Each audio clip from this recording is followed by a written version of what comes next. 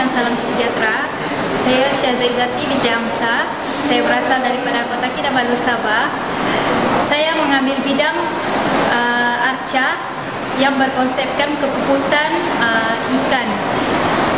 Media yang saya gunakan adalah uh, mix media di mana saya menggabungkan media kayu dan media dan media